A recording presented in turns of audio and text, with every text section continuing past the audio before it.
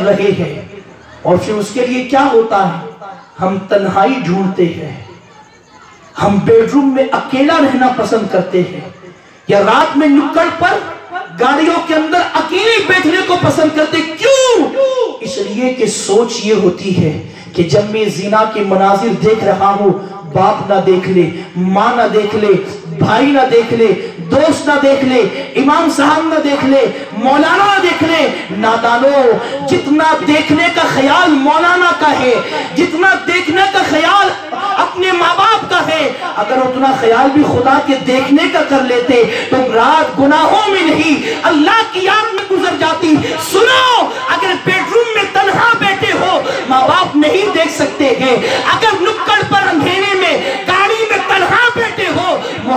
والے نہیں دیکھ سکتے، مگر اللہ کی عزت کی قسم، اگر تحت السرا میں بھی چلے جاؤ تو خدا کی نگاہوں سے چھپ نہیں سکتے ہو، خدا کی نگاہوں سے بچ نہیں سکتے ہو۔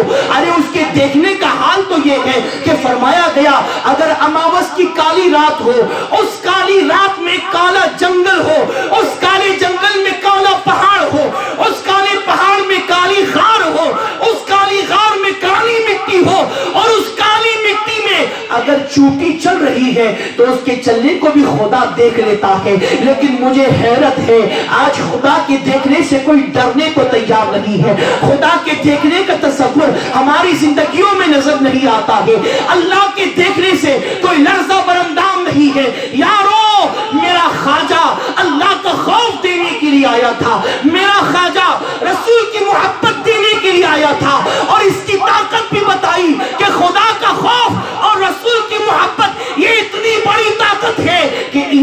چیزوں کو لے کر خواجہ کی سیرت بتا رہی ہے کہ انہی دو چیزوں کو لے کر خواجہ نے بنجر دھرتی پر قدم رکھ دیا تو بنجر دھرتی بھی اجمیر بننے پر مجبور